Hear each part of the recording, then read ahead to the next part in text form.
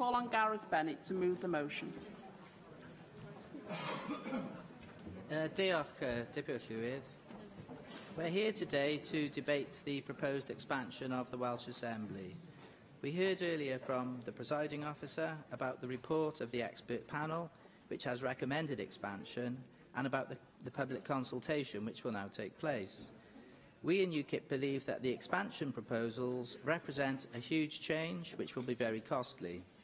We have to establish that there is popular consent for it, and that consent can only be demonstrated by way of a referendum. That is why I'm moving today's motion to that effect in the name of Neil Hamilton. Now to the amendments. There is only one from the Labour Group. We've had a good hard look at their very detailed amendment, which says delete all after point one, and we've decided, after much robust discussion, that we oppose the amendment. Now, the main premise of the report is that there is now so much legislation going through the Assembly, requiring so much scrutiny, that it is all too much for the 60 Assembly members that we currently have. The suggestion is that we increase the size of this place to something like 80 members, or more preferably 90. So the first thing we need to look at is this. Is it true that we are all overworked as members of this place? It is... Yes, well, I do tackle this point, uh, David and Mike, so thank you. It is interesting to note that the statutory obligations of an AM, that is our legal duties, amount to almost nothing, nothing in effect. So if we are going to say that more AMs are needed, perhaps we first need to lay down a much more stringent set of statutory duties. You will recall how the, how the Assembly was brought into some disrepute recently by the frequent non-attendance of Nathan Gill. Well, we can all shake our heads and say, naughty Nathan Gill. But actually, here's a question. How often is this chamber ever near full? It is now, but it wasn't earlier on today. A point I would like to make is that, on Wednesdays, we now quite often begin proceedings with only about 20 to 25 members and sometimes we are down to less than 20. So even something as basic as attending plenary is not an obligation. It is optional, as is the rest of the job. And some, and some opt not to be here very much. We have even had the Labour government telling us recently that Wednesday debates are mere opposition debates, which don't really matter very much at all, almost suggesting that we don't need to be here.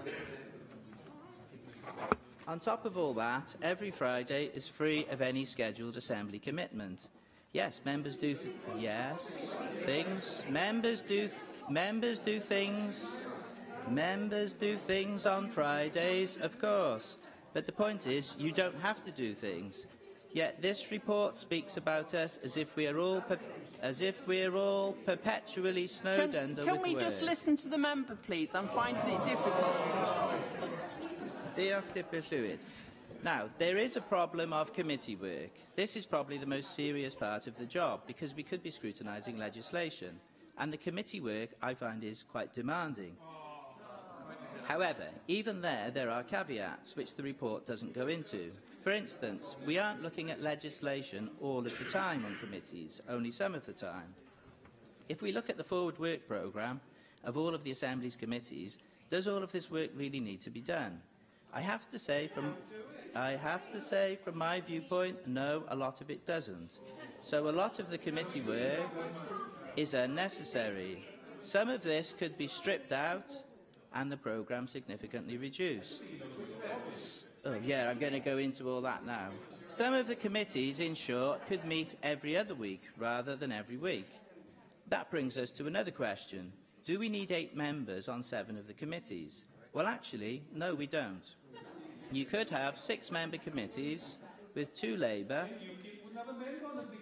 If you would just await for my proposal, Simon, you might actually have that point clarified. You could have six-member committees with two Labour, three places between the Conservatives and Plaid, and one UKIP. This would still be proportionate if the Labour members wielded two votes each in any voting situation. After all, the four Labour members always vote the same way in any case, with the Labour whip.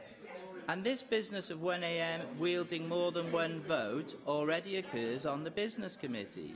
So we could simply extend the efficient operation of the Business Committee to these seven current eight-member committees. This would reduce the workload of the Labour backbenchers, who currently shoulder the biggest burden of the committee work. This is why I'm rather surprised that you don't seem to like this. So there are ways around this business of AMs supposedly being overworked. We just have to be creative in how we think about this challenge and not simply go for the stale response of we need more members. Now, the report says in the introduction, as an independent, impartial panel, we have used our expertise and experience to conclude that a 60-member assembly does not have the capacity it needs. End of quote. Can I give an alternative view on what the panel are actually saying? Beginning of quote. We are a bunch of people who make our considerable livings from politics. We live in a political bubble, completely detached from the lives of normal people. We think, we think that the solution to every political challenge is to create more jobs for politicians. Then, hopefully, those politicians will put us on more of their commissions and inquiries. And then we go on making lots of money, all of it funded by the taxpayer. End of imaginary quote.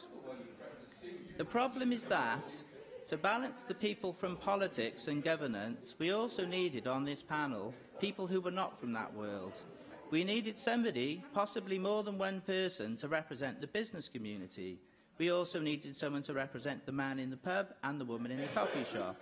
But in appointing this panel, the opinions of such people were never solicited.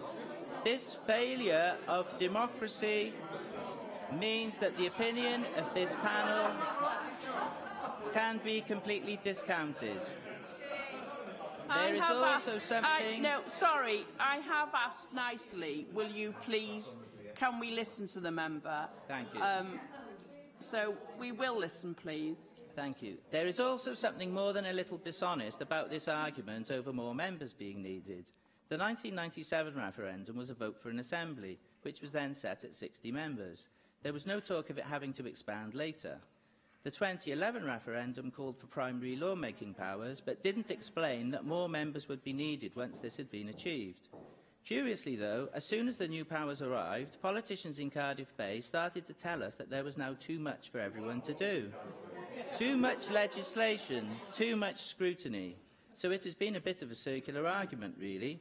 Give us more powers, the AM screech. Westminster, after a bit of a battle, duly obliges. Five minutes later, the AM screech, give us more members. So the Assembly asks for more powers, gets them, then tells the public they don't have enough people to deal with the new powers they themselves called for. This is basically a political scam to hoodwink the Welsh public into accepting more AMs by stealth. Well, you're not going to get your 30 more members, not unless we have a referendum on it first. That's my view, and that's the UKIP view, and that's why I'm moving today's UKIP motion.